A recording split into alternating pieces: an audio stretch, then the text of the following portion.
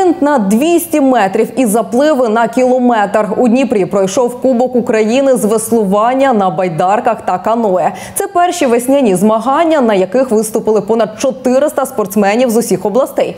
Найкращі поїдуть на світові турніри. За запливами стежив наш Андрій Замковий.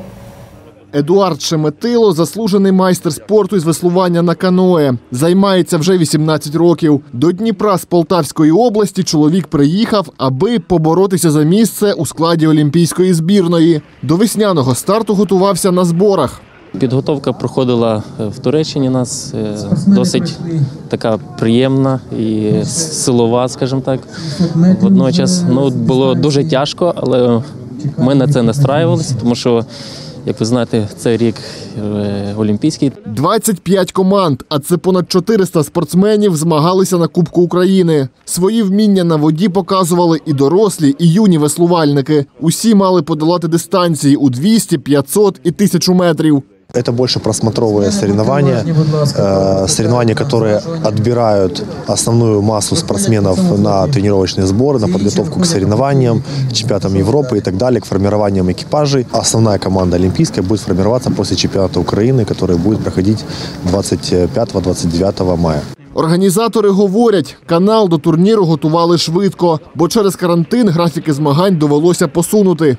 Как только сошел лед, сразу заниматься установкой дистанции, плотов, стартовой системы.